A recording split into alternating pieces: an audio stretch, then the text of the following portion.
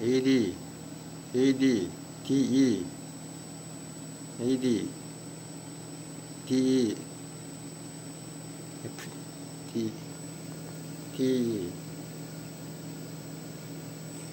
어, 이거는 지금 삼성 히트 보일러 실내기 에라 번호 나오는 증상입니다. 에라 메시지가 뜨면 여기에 이 뭐라고 뜨는 것 같은데 지금 이 표시들은 뭔지 엔지니어 매뉴얼을 한번 봐야 될 것 같습니다.